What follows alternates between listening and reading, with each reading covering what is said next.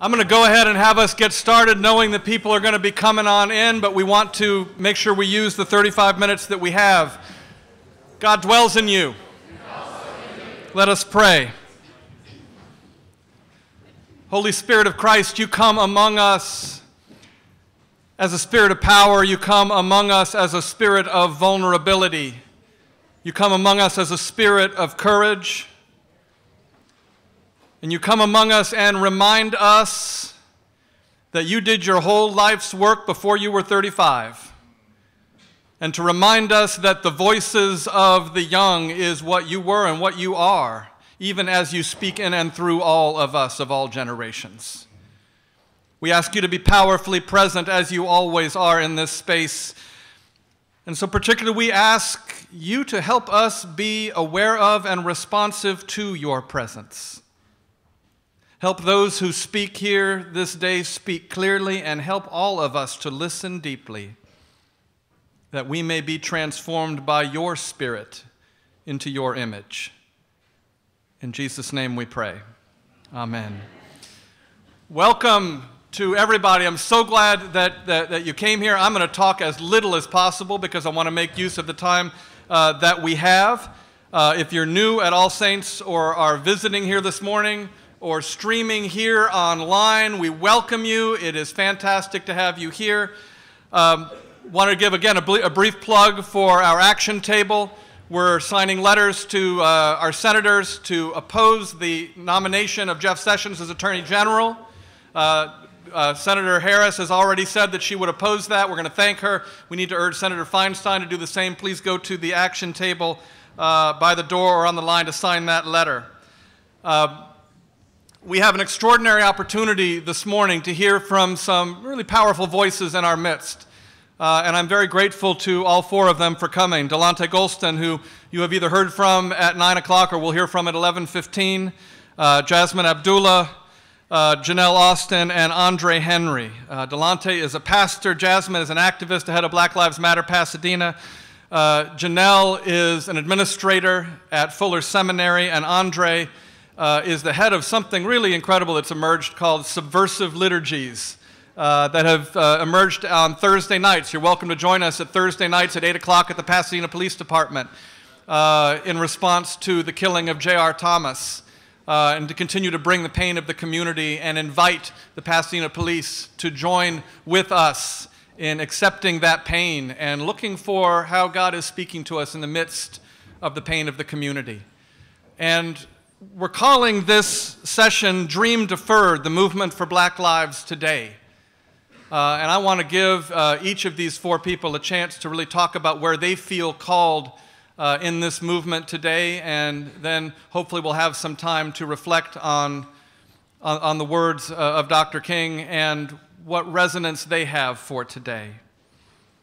And so I'm going to start us off by, by asking uh, Jeanelle uh, to start. And each of you is part of this movement in a different context. Jeanelle, part of how you are active in resistance to racial oppression is working within an institution, working within Fuller Seminary. Can you talk about your experience of working within an institution and the challenges and frustrations and maybe joys of that and why you feel called to not remain silent about systemic racism in that place where you work? Okay, well, let me start with why I feel called um, to not be silent on systemic racism. So I grew up in a very bicultural context. I'm originally from Minneapolis, Minnesota, um, and I grew up in a black neighborhood but went to white schools. Um, when I went to college out in um, Pennsylvania, central Pennsylvania, I saw a very deep need there to help the black students adjust to a very white world because we were in, this, in central Pennsylvania where the KKK was live and active.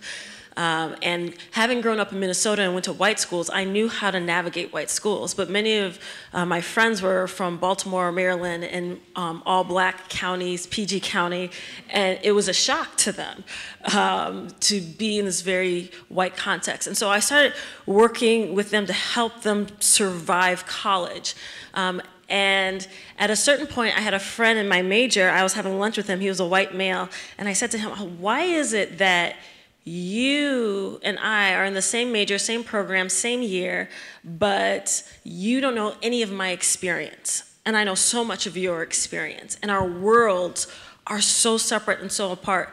Um, and that really was the start of me working um, towards addressing uh, racism on a massive scale. I actually designed a conference for my college.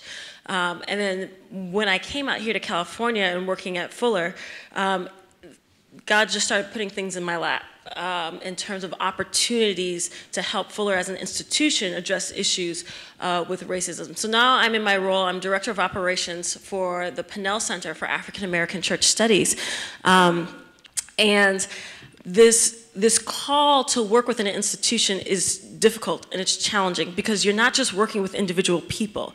You're uh, looking at systems and saying, how are these systems actually making it more difficult for people to thrive um, and for people to have equal opportunity in the classroom, people to have equal opportunity when they graduate, uh, or even how do we as an institution cause systemic oppression within the larger Pasadena and Los Angeles community. So you're really looking at racism on a massive scale scale um, and, and trying to carry a prophetic voice to challenge the institution to live out this gospel faithfully because it is a Christian institution.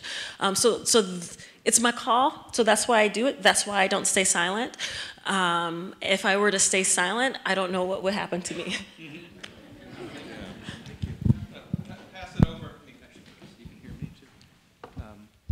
Pass it over to you, to, to Andre, and somewhat of the same question. You've chosen also um, not to remain silent. And why are you making that choice? And can you talk about your experience of the subversive liturgy and where that came from and, and how you're experiencing a sense of call, not just for you, but in the community? Okay.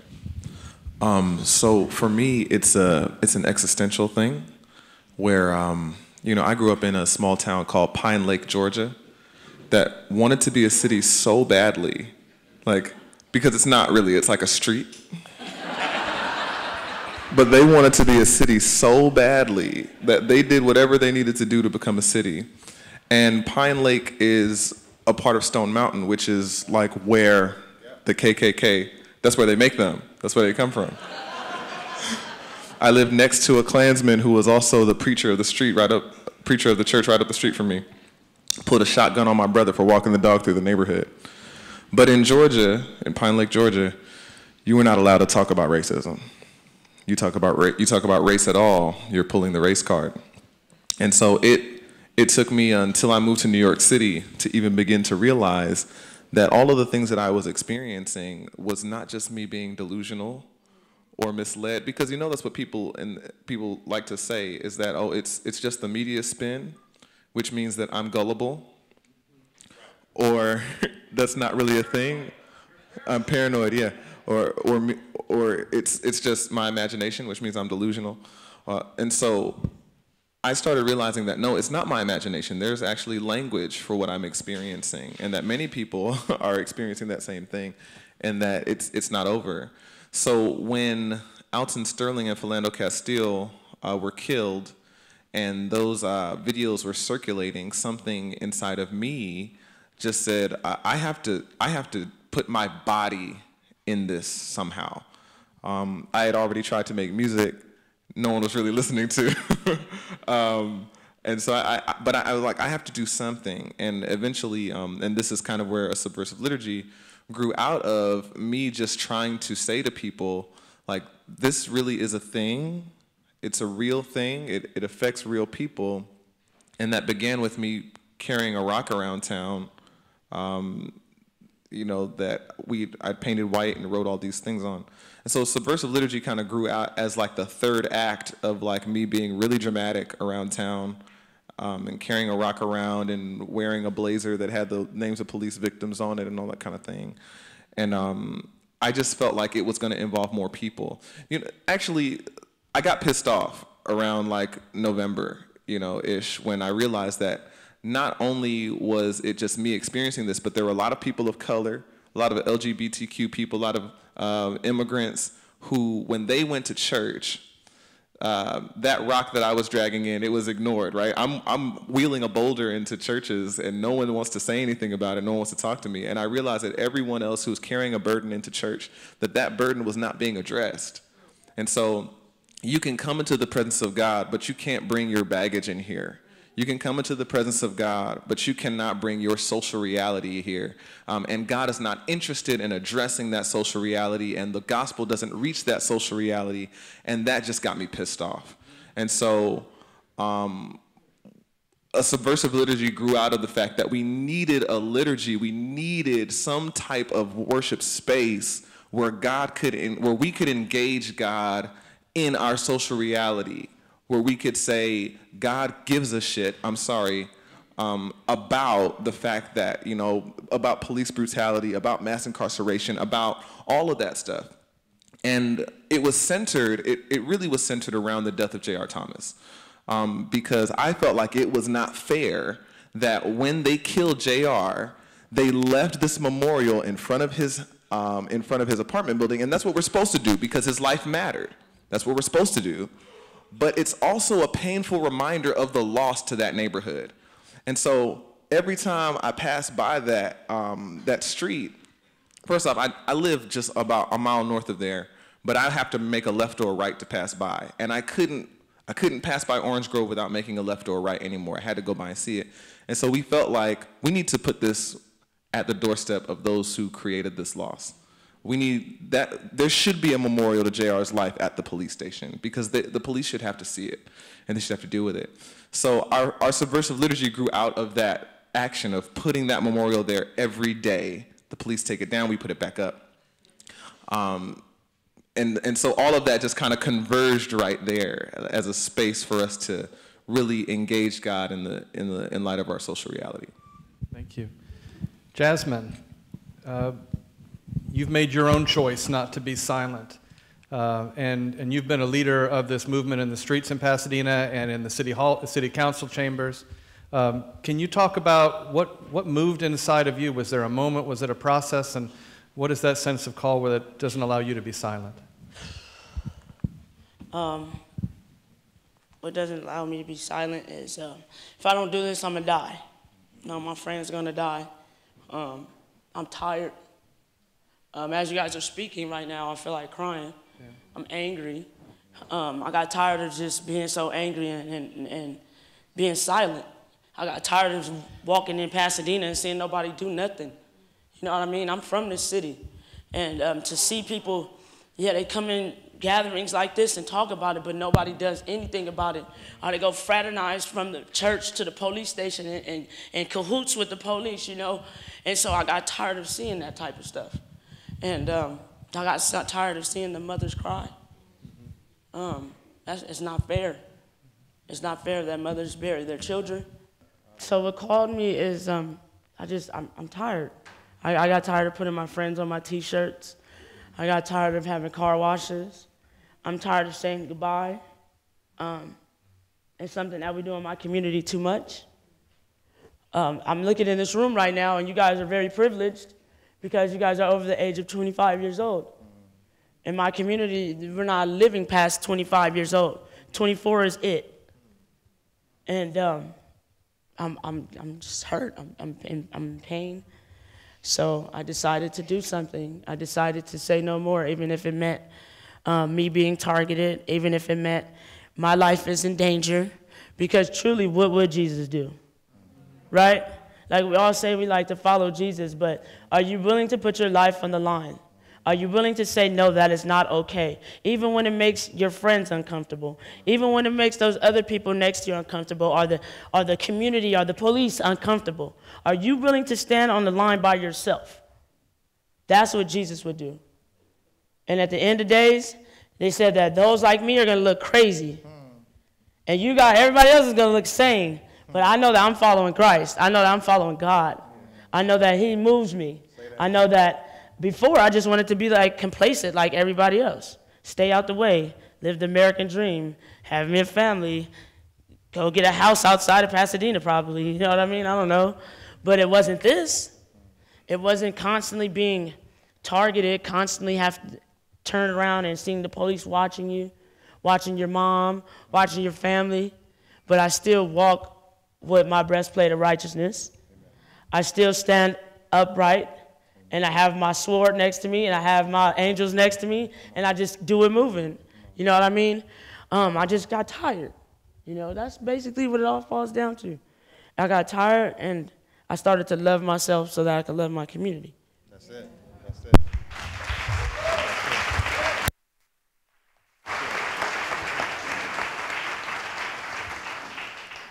You're doing this in the church, so talk about doing that and talk, talk about what it means for you to do this in the church.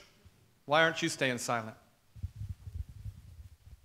I have no other choice. Uh, I'm just like everybody else on this panel. Uh, I, I, got tired of going to the therapist office thinking that I was delusional. Uh, I was one of those kids that Jeanelle mentored because I came from DC. So those are my friends from PG County that were uh, in these white environments. I went to the top liberal arts college in the country, got to meet all these progressives who, when they found out that I loved Jesus, thought I was stupid. So that was strike number one. Um, and then uh, when they found out that I didn't go to some private prep school, like all the other brothers that was up in there fronting with their headphones on, like they were hood, and I grew up in the hood.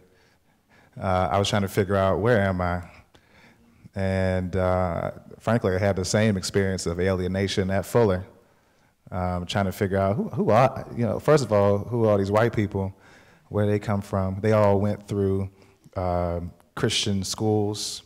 I never heard of none of them schools. Um, and, uh, and then I had to try to figure out who are these black people and what, do they serve the same Jesus that I serve? Um, and I think that, that that's, that's, that's, that's the journey of, I guess, sociologists, psychologists, they call it integration. I've been in a journey of integration uh, because I realized that um, the Jesus that I met when I in my dad's um, in my mom's basement when I was six, um, playing little vinyls of Dr. King speeches and memorizing those Dr. King speeches, and then preaching those Dr. King speeches all over the city. Um, I didn't. That was the only time I heard that that message of liberation and hope. I did not hear it from any of my pastors. They wanted to save my soul. Um, they wanted to see me happy. They wanted me to roll around in, in the ground um, to experience a Pentecost that uh, was of heavenly good, but no earthly good. And so, uh, the reason why I came to Fuller, the reason why I decided to respond to the call to ministry, is because I couldn't take it no more. I couldn't take, I lived in DC serving at the idols of both Mammon and Caesar. Everybody in DC is like the people in this room, um, like me, like you all. Um, everybody in DC, we love to be on the boards. Know what I'm saying? We love to be on the website. We love to, to slip somebody our CV. That's what we worshiped. And when I started my business um, in DC, um, I've always had black mentors. I'm very grateful for that. Oh, glory be to God. I'm so thankful that growing up in my city, I always had black people that I knew could do anything. So I always felt like, man, they like Superman, Superwoman, they can do it. Now we've made our mistakes trying to be like white folk and, you know, trying to, but what I mean when I say trying to be like white folk is, um, think we can get away with the stuff that y'all get away with, cheating and lying on your taxes and um, getting elected to city council and uh, uh, taking bags of money and it. All of all, I mean, I can name four brothers that you know I was close with back home who got elected to political office or something like that, and one by one by one by one. Everybody went down for the count because they, you know, when we get on the inside, you know, Dr. King taught us to get on the inside and to integrate so when we integrate, uh, we mistook the ways of Jesus for the ways of whiteness. And so uh, we thought that uh, when we got integrated, that we could do everything y'all do. That's what we thought integration meant, right? I can do what white folk do. And so, uh, something about this call of, um, of following Jesus as a pastor means that uh, I have to, I have to maybe invite people into what it might mean to follow a Jesus that doesn't look like Caesar, doesn't look like Mammon, you know, actually is willing to reject that. Actually willing to put, you know, your body, your life on the line. Colossians talks about Jesus, the nails going in Jesus' hands. Okay, I'm not going to preach another so sermon. I, and I know we got, uh, when you get a preacher talking, give a preacher a microphone. It's a dangerous That- business. All, I, that- all I'm saying is, I, I'm just like ev- everybody else here. I ain't have a choice. Yeah.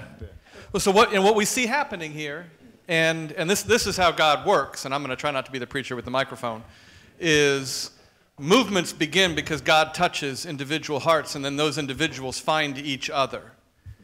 And what we're seeing happening, not just in Pasadena, but around this country, and maybe even around the world, is a new movement. And people are starting to use movement language. And I'm just going to let you all kick this around. How do you see this movement today being different from the civil rights movement, either as it really was or as we nostalgize it uh, today? And, and what does that look like here in Pasadena? Let me say real quick, just since I have the microphone still, and I'll pass it on. This is quick. The main difference is preachers don't get to just roll up and say, Give me the mic. The biggest lesson that I've learned in this movement is sit down, show up, be consistent, and show love. And if somebody wants you to, to speak, to say something, they'll ask you to speak and say something.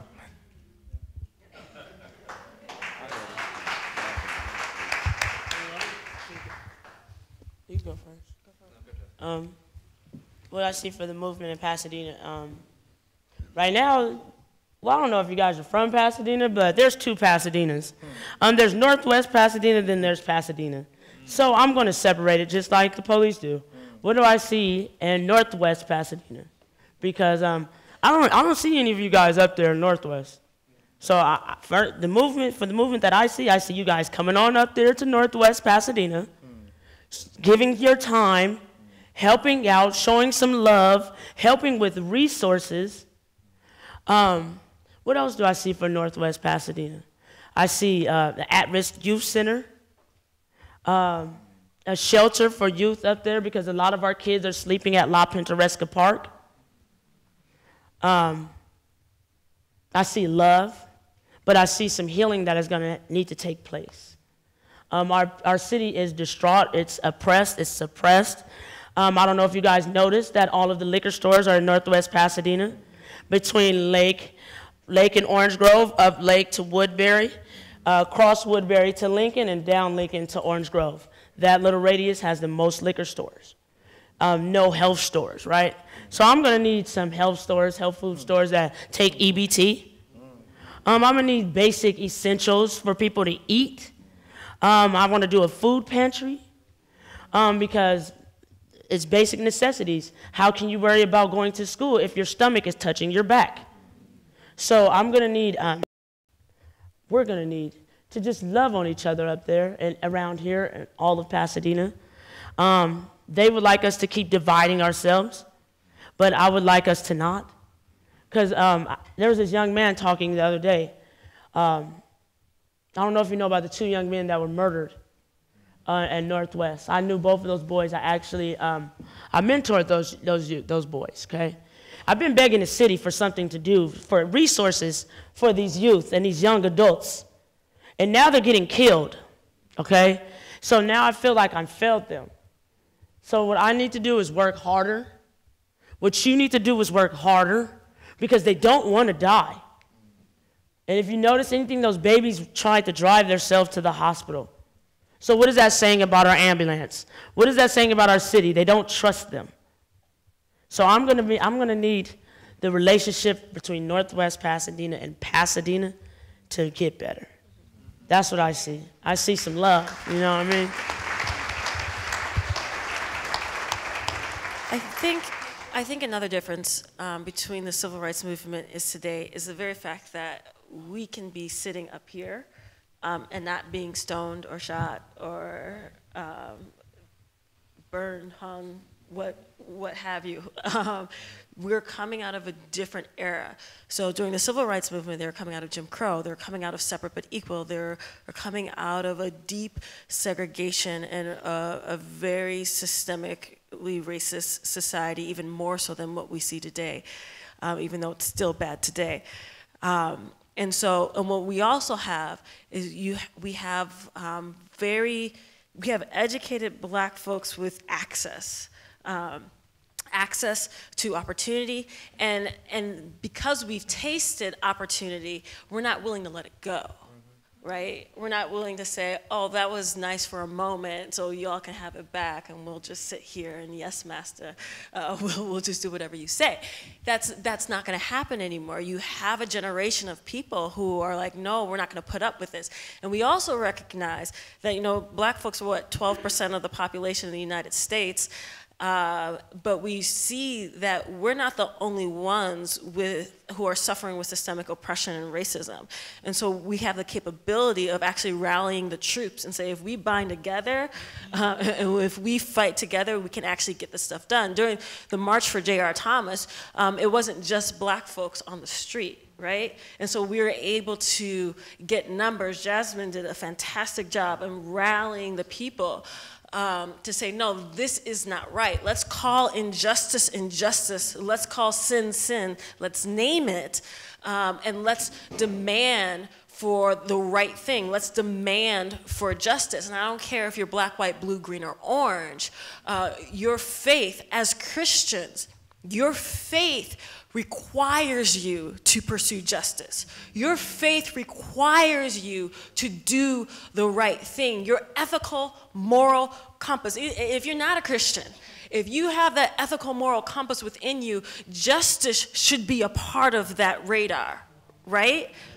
And so it's not just black folks who are saying, this is not right. It needs to be everybody. And so, I, and I think that being in 2006, 17, not 16, that just happened. Um, being in 2017, that has allowed us the privilege of, of knowing the, the power that we have access to to actually get the, the change done that we need to get done. Um, really quickly, and I'm pretty much echoing what, what everyone else has said, but there, there are two differences that I want to repeat because I feel like there's a call to action in both of them. First is that the problem looks different than it did in the 60s.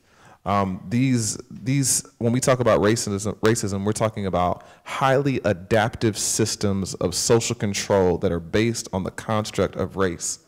And they look different. They evolve. They do not simply end. And so we tend, we tend to tell this story about the civil rights movement in this very naive way, thinking that, oh, well, Dr. King preached the I Have a Dream speech, and then it happened. Only it didn't. And so now the problem looks different. And so if you're waiting for people to bust out the hoods and the nooses and, and their pitchforks and their torches and to come to somebody's apartment building before you get active, you are waiting too long. It is happening. The institution of slavery still exists in this country. It never ended. People are still being lynched. Leadership is still being targeted in our communities. It's still happening. So you cannot wait for it to be overt like it was back then. Also, leadership looks different in this movement.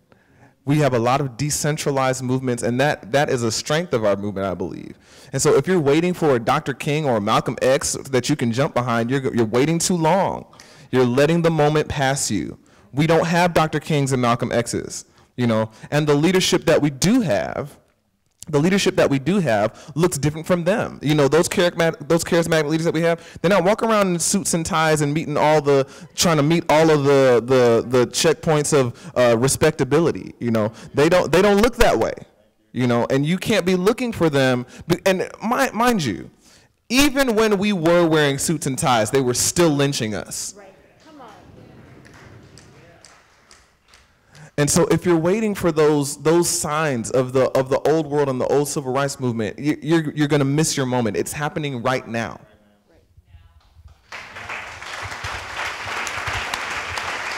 I, I wish we had about an hour and a half more, and we've got about four minutes. Um, I know, and uh, and I got like nine questions I haven't asked. I want, what's the word that you have for us? I just want to I want to leave it as open as that. Um, you look out in this group that is gathered here, you look out at us. What word do you want us leaving this place gnawing at our heart and our spirit that won't let go?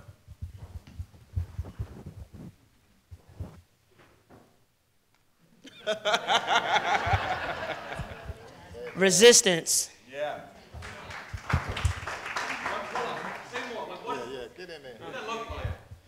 Um, standing up against social injustice, um, coming to those city council meetings, but actually talking and saying what you see. Um, it looks like uh, extending some love.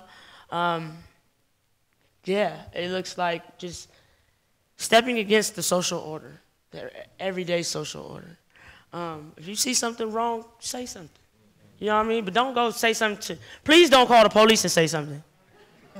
Just say something to that person because, man, these, young, these youngsters, they listen.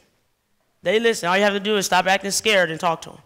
Because uh, the energy, they feel the energy. You know what I mean? If you act scared, then they're going to be like, well, they, they're scared of me anyway. You just not talk to them anyway, you know?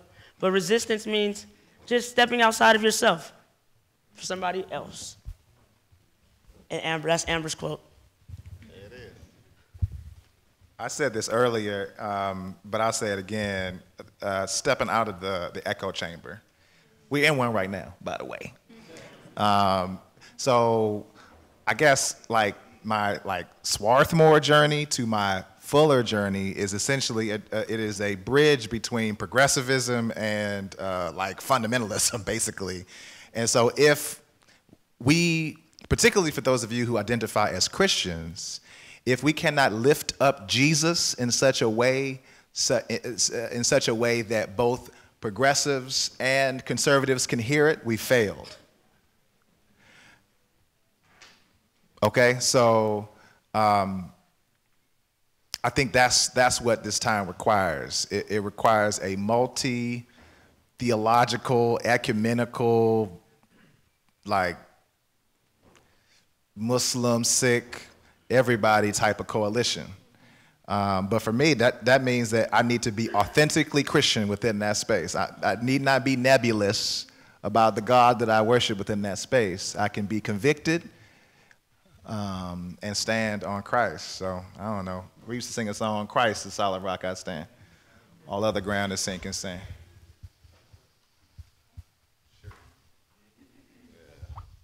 Uh, did you want to go? I was about to write down what I was going to say because I didn't want to forget nothing. Someone says, if you want people to leave with one thing, here's my chance. Okay. I want to say to you, Christians, they taught us the song in Sunday school wrong. It should have been, He put the whole world in our hands. They should have taught us to sing it that way. Because when God creates human beings, God blesses them and says, rule over the earth. So God blesses them with power, with agency. You don't even have to look at the scripture to know that, just look at history. The world that we have is, the, is shaped by human choices. And so the fate of the world is in your hands. We can't leave it to God. We can't even leave it to our leaders.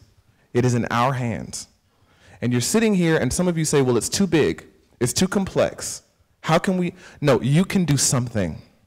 So, if my name ends up in the news because some police officer stopped me because of a busted traffic light, and I'm not living, do not offer my family your thoughts and prayers.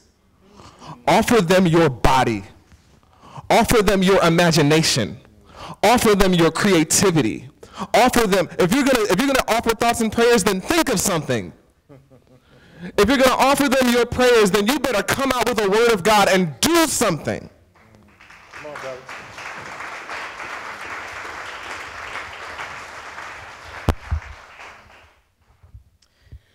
Acts 2 says, uh, In the last days, I will pour out my spirit um, uh, on, I will pour out my spirit on sons and daughters. Um, uh, how does it go? In the last days, I will pour out my spirit on all flesh. Your sons and daughters will prophesy. Your old men will dream dreams. Your young men will see visions. Even on my servants, both men and women, I will pour out my spirit in those days, and they will prophesy. Be prophetic. We all have a call to be prophetic. We all have a call to see what is wrong in this world and call it a spade of spades. Call sin sin, name it, identify it, speak truth, and speak what God would have it to be, speak justice to be prophetic. Sometimes we say, well, you know, that's just for the office of the prophet. Or some people even say, well, the prophets don't even exist anymore. That was for the Bible times. But Acts 2 says that God has poured out his spirit on all of us to prophesy. So be prophetic with the injustices that you see in our society and don't let them pass you by. I need, I need to officially end us so our sound techs can get over to the church. Um, can we give thanks? And then I'm going to give you a chance. Can we just give thanks to this group of people here? Thank you so much.